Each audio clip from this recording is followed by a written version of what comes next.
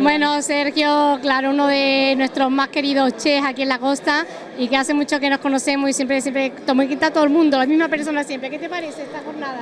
Pues muy bien, la verdad es que estás aquí en Marbella con los amigos, estás aquí con los compañeros de profesión, con la gente que conozco de hace mucho tiempo y bueno, pues en el enclave este, en este paisaje y este día, pues la verdad es que inmejorable la verdad es que no veas toda la gastronomía, todo lo que hemos visto aquí, el plastón y tal. ¿Tú eres también más de plastón o tú eres más de otras cositas?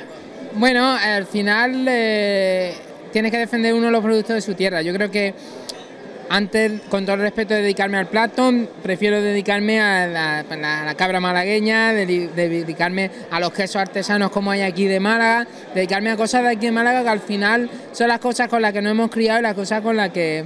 Con que... Y si no, un huevo frito, que siempre queda muy bien. Sí, un huevo frito es el mejor plato, vamos. no hay nada mejor y más difícil que hacer que un huevo frito. Muchas gracias, Sergio. A ustedes.